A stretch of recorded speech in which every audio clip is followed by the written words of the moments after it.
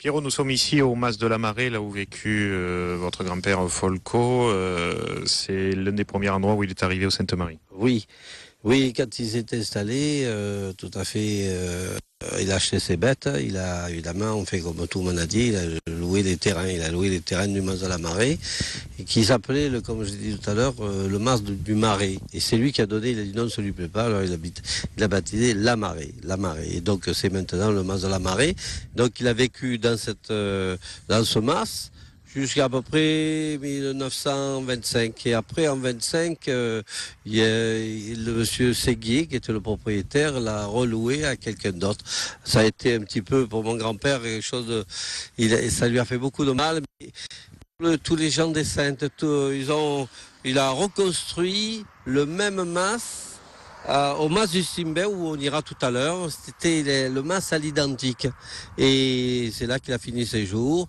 Il a fini ses jours, disons, pas fini ses jours parce qu'il a, il est mort, euh, il est mort à Avignon et il a, il a vécu une grande partie de, de, de, de, sa vie jusqu'en 42, 40, puis après en 43 et il a eu ce grave accident quand il a mené, il, voyage beaucoup ses chevaux en train et quand il avait fait une fête provençale et, et puis dans le train il y a eu un petit peu le, feu il y, a, eu le feu, il a voulu l'éteindre, il a envoyé de, bouteilles d'eau, et puis ça lui le cheval a pris peur, il a envoyé un coup de pied, et puis mon grand-père, il était comme beaucoup, il se soignait pas, et ça lui a provoqué une, une inflammation, et maman, après, quand elle a vu que c'était trop euh, l'a pris et l'a amené à Avignon, et, donc euh, il a été, on a voulu, on, devait l'opérer, et puis euh, il n'a pas pu supporter l'opération, et il est mort.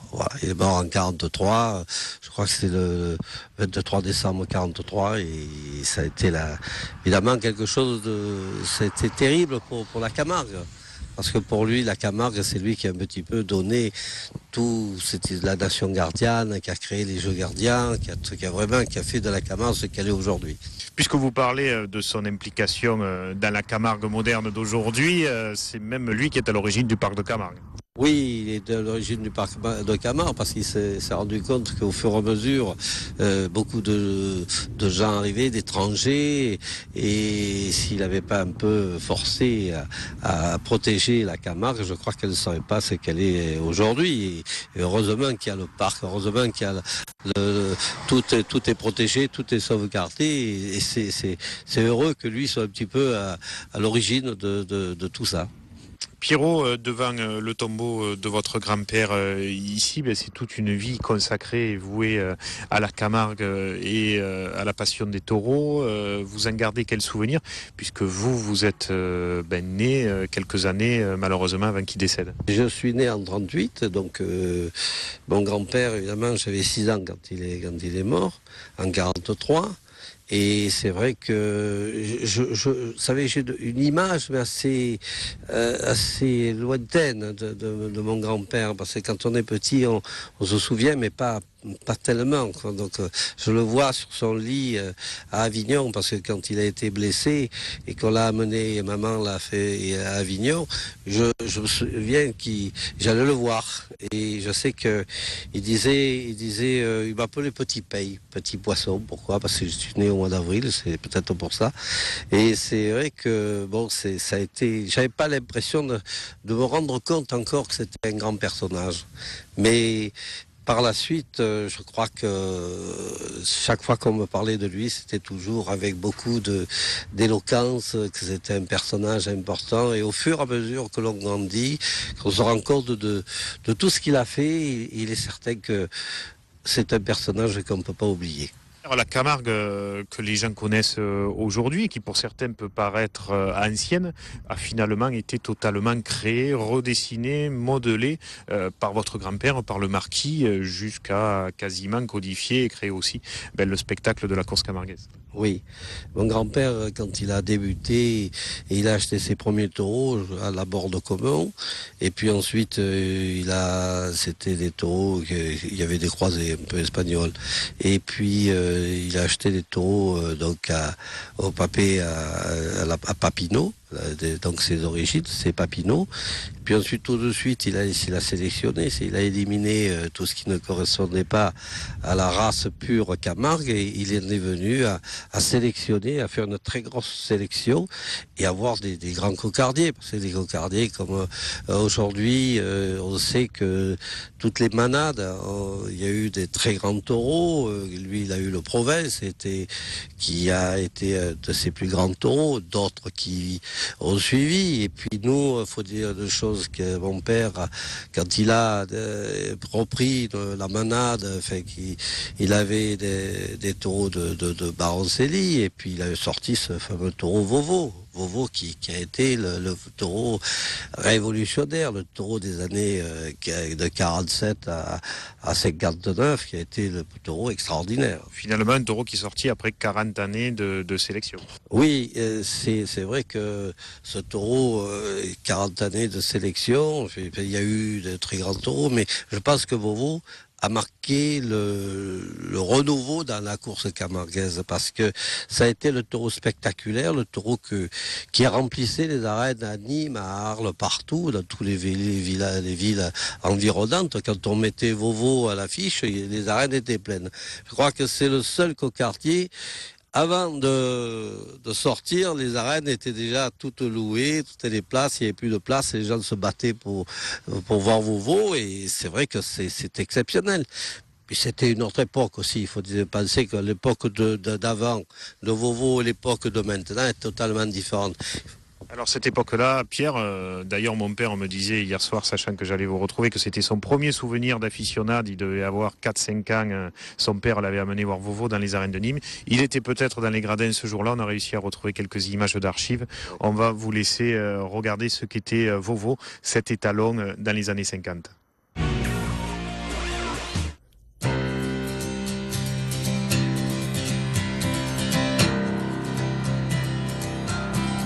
Still my heart and hold my tongue. I feel my time, my time has come.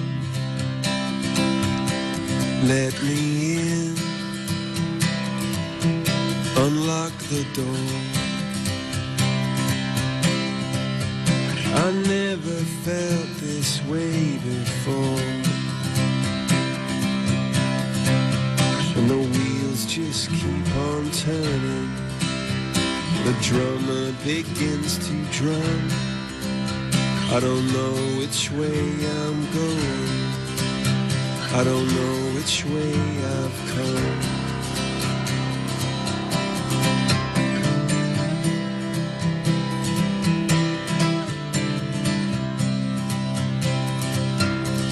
Hold my head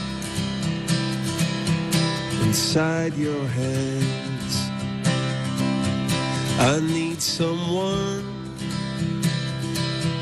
who understands. I need someone, someone who hears. For you I've waited all these years. For you I'd wait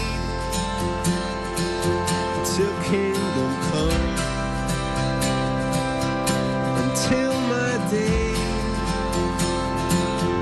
my day is done.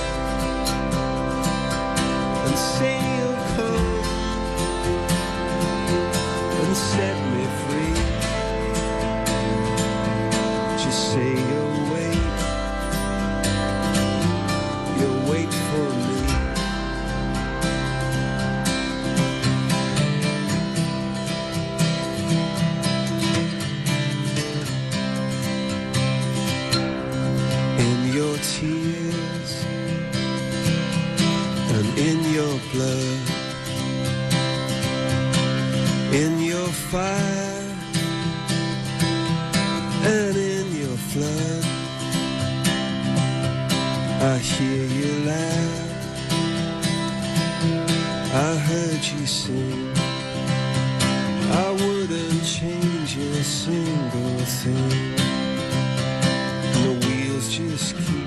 turning. The drummer eyes begin to drum. I don't know which way I'm going. I don't know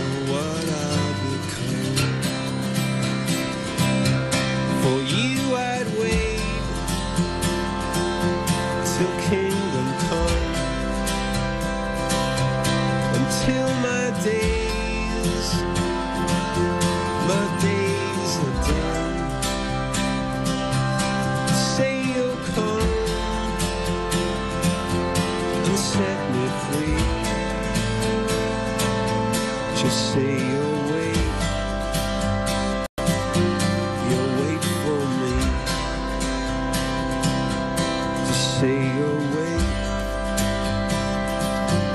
You'll wait for me. Just say you'll wait.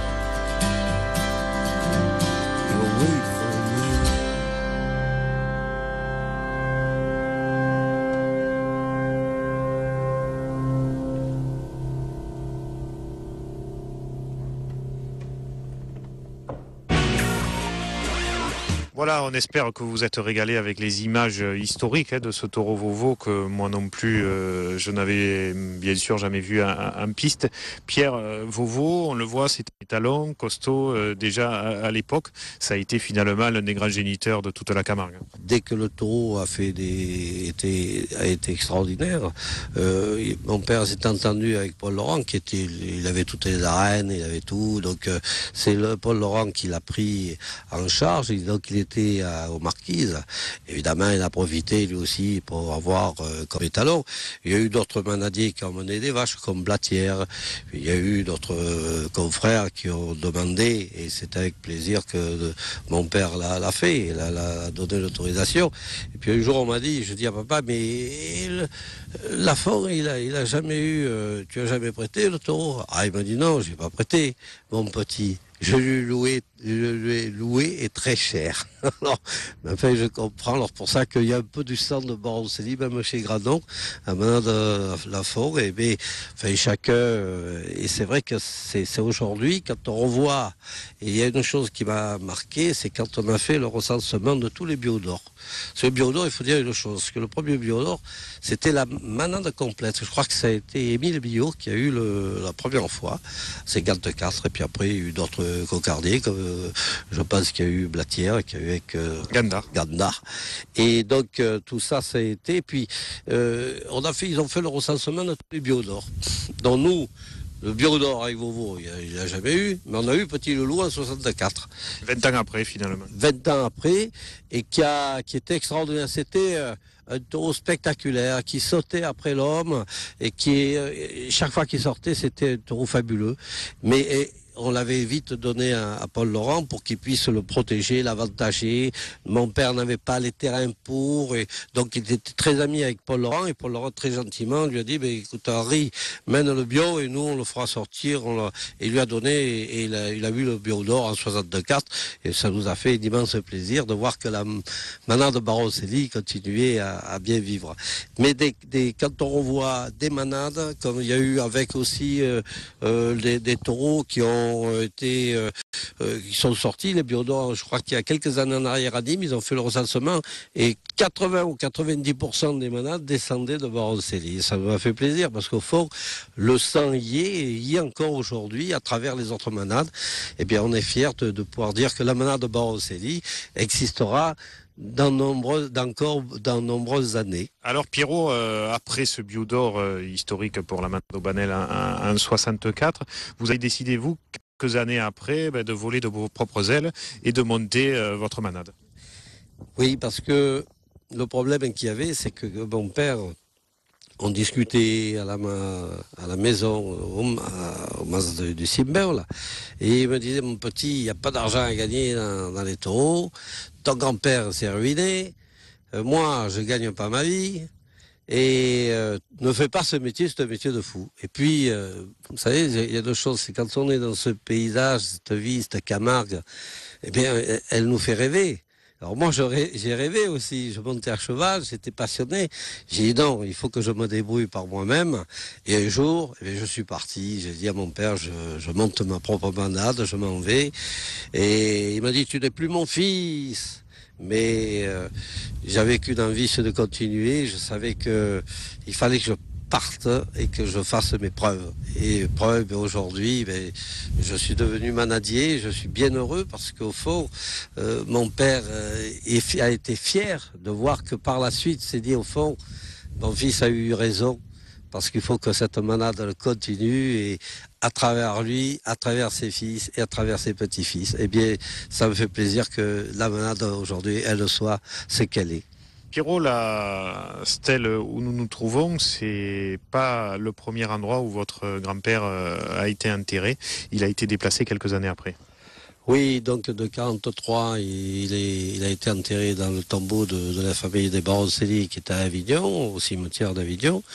Et en 51, mon grand-père, son vœu, c'était d'être enterré de son mas, là où il avait vécu, donc ici. Et C'est ici donc que son mas a été reconstitué euh, à l'identique du mas, euh, du mas de la marée. du mas de la marée, exactement. Donc il a vécu euh, jusqu'à ses derniers jours euh, dans ce mas. Pierrot, on se retrouve là où vous avez vécu une partie euh, de votre vie, euh, votre enfance, à Lucimbeu. Oui, le Simber, et je reconnais que chaque fois que je viens à, ce- mas, à cette cabane, ça me rappelle de très très bons souvenirs. C'est vrai que toute ma jeunesse, je l'ai passée ici, et c'est c'est quelque chose d'extraordinaire parce qu'on était seul, il n'y avait pas les promenades comme aujourd'hui, c'était beaucoup plus désert, c'était vraiment le mas euh, au milieu de la Camargue et en toute liberté avec les paysages fantastiques qui nous entouraient. En toute liberté. euh, Pierre, c'est peut-être euh, l'une des raisons qui a amené votre grand-père euh, ben, à se lier d'amitié avec des chefs indiens, Buffalo Bill en particulier. Vous avez quelques reliques de cette époque-là. Oui, euh, peut-être pas Buffalo Bill, mais les Indiens qui accompagnaient le cirque de Buffalo Bill, et en particulier un Indien qui a toujours été un grand ami de mon grand-père, Jacob Wattais, qui euh, donc a honoré mon grand-père quand il est reparti, parce que le cirque de Buffalo Bill a brûlé à Marseille, puis les Indiens sont repartis euh, après, euh, donc retournés dans leur pays, et euh, il a donné un, costume à- mon grand-père Baroselli, qui est un, un costume authentique qui aujourd'hui va être classé par les monuments historiques parce qu'il remonte bien avant 1850 et nous avons donc euh, des- un costume tout à fait exceptionnel. Pierrot, un événement marquant aussi euh, et fort dans votre famille, ça aura été euh, la perte de la moitié de la manade par des inondations euh, dans les années 60, je crois. 73. En 73, il y a eu un événement tout à fait exceptionnel. La manade était donc dans les pâturages du Kellar et c'était au mois de, de novembre, décembre le monde en parle, personne n'ose y croire. Un peu comme si l'on annonçait un beau matin à un fermier du Périgord que 60 de ses canards s'étaient noyés la nuit dernière. J'ai d'abord pas cru à l'avènement. Et puis ensuite, il m'a semblé qu'on me donnait un grand coup de sabre derrière la tête. Tout a commencé mardi dernier sur les bords de la Vistre, aux frontières de la Camargue et du Languedoc. Depuis le mois de juillet, les 180 taureaux de la manade au Banel séjournent dans leur quartier d'été. Ce n'est en principe qu'aux premières rigueurs de l'hiver que le troupeau regagne le cœur de la Camargue. Cet an dernier, il a fait froid, les manadiers sont venus casser la glace, les taureaux ont bu, tout s'est déroulé le plus normalement du monde. Mercredi matin, aux premières lueurs du jour, le spectacle est désolant. La moitié du troupeau flotte, ventre gonflé et pattes en l'air, le long de la Vistre. Que s'est-il passé? Personne ne peut le dire. On ne pourrait l'expliquer que euh, par euh, un coup de beaucoup plus que de malchance, par de la malveillance, quelqu'un qui aurait lancé des chiens contre. Mais ça me paraît impensable. Vous préférez écarter cette hypothèse, Monsieur Banel? Je préfère penser que c'est, comme la disait Madame Montfachon du Guélard, euh, un, un- tourbillon de vent qui n'a peut-être été qu'ici, ça se voit souvent. Il y a une cause que nous ne pourrons jamais expliquer. La moitié d'un troupeau décimé, c'est un coup dur pour la manade. C'est aussi une perte irremplaçable pour la race camarguaise. Car parmi les morts, la plupart étaient des célébrités. On a Bénédictin, Cabussaire, Martinou, Guépard. Puis il y a toujours la jeunesse montante qui donne espoir. hein. Il faut... La relève sera donc assurée, la manade au Banel continuera à vivre. En Camargue, aujourd'hui, l'émotion est à son comble et l'on se souviendra longtemps encore de cet automne 73. Je n'ai pas osé d'aller voir quand il est tiré du vistre, même avec tout ce que les autres gens ont fait, de venir couper les frontales. Ça m'a vraiment écœuré ce matin quand j'ai vu ça avec la fille de mon patron. J'en ai, eu des frictions. De voir un tas de bêtes là, le long de la digue du Vistre, comme ça, des bêtes que j'ai vues naître, que j'ai gardées, je les aimais. Et vraiment, toute la population ici a fait corps autour de nous, de ma fille Caroline, de moi. Et au Sainte-Marie, ce matin, c'était la même chose. Ça a été. euh, tout le monde m'arrêtait dans la rue, tout le monde m'a serré sur son cœur, tout le monde m'a dit Cette manade, c'est notre manade. C'est la manade Barcelli. Et je leur ai dit ben, La manade Barcelli continuera à vivre et nous reprendrons la première place que nous avons toujours occupée dans les courses et partout.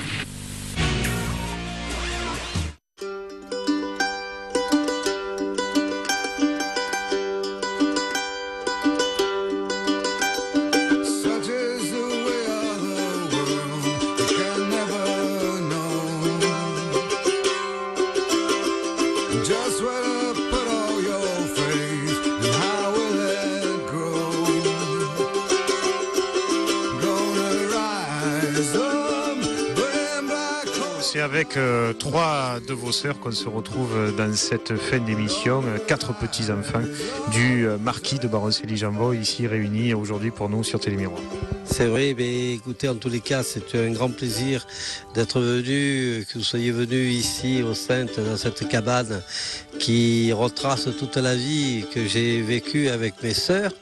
Et votre présence est très agréable. Je remercie Télémiroir de nous avoir euh, fait cette émission qui, j'espère, euh, donnera un petit peu une image de notre vie de Manadi. Et puis surtout qui retracera, je pense, pour beaucoup de gens, euh, l'importance que votre famille porte dans ce qu'est aujourd'hui la Camargue et tous ses symboles. C'est vrai, c'est une belle chose d'être ici dans cette, dans, dans cette Camargue que nous aimons tous et espérons que on en garde. Espérons qu'on saura la défendre comme le marquis euh, a su le faire, lui qui n'était pas au départ originaire pourtant de la région, comme quoi personne n'est prophète en son pays. Heureusement qu'il y a des gens qui viennent d'ailleurs pour euh, bonifier et sublimer peut-être des espaces comme le nôtre euh, aujourd'hui, parce que ce territoire de la Camargue, il faut qu'on arrive à le défendre. hein. On voit les pelles mécaniques qui travaillent là pour essayer ben, d'endiguer cette mer qui grignote année après année ce territoire. hein. C'est vrai parce que là on est à quelques pas de la mer et quand on pense qu'elle se trouvait à près de 200 mètres, on, est, très inquiet. Mais c'est avec les, les- la pelle mécanique et tous les blocs qu'ils amènent, je pense qu'on pourra encore euh, rester de nombreuses années et que cette cabane sera toujours en place et qu'on pourra bien euh, euh, penser à la manade et penser à toutes ces belles choses de la Camargue.